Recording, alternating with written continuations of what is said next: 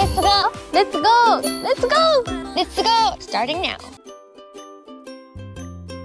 As you idolize NiziU, it's interesting to see NiziU as fangirls themselves.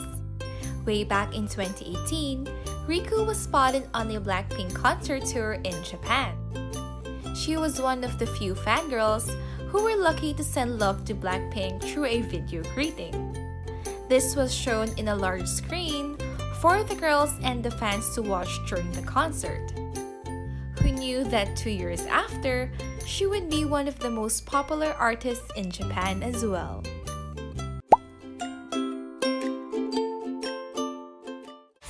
Hello! Did you find this episode fun? 次のエピソードもお楽しみに Watch it to find out. Starting now.